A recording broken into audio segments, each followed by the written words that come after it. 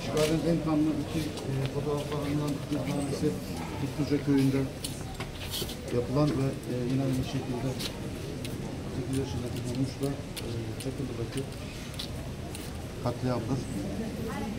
Burada da aynı şekilde e, maddi zararlar görülmektedir. Oran gazetesi toplam 745 bin lirası maddi kayıp ve zarar e, görmüştür.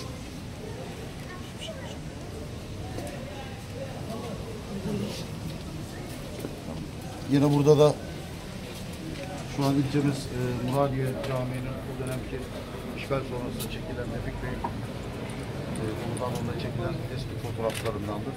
Bu da şu an e, var olmayan yıkılan Çınar Taksi durağının olduğu yerdeki Orhan Bey'in yaptığı Orhan Bey Camii. Ne yazık ki bu da e, 1939 yılında son kalan enkazları da kazıtılarak çöp olarak görülmüş ve kaldırılmıştır. Bu da acı olarak tarihimizde yer almıştır. Bunlar da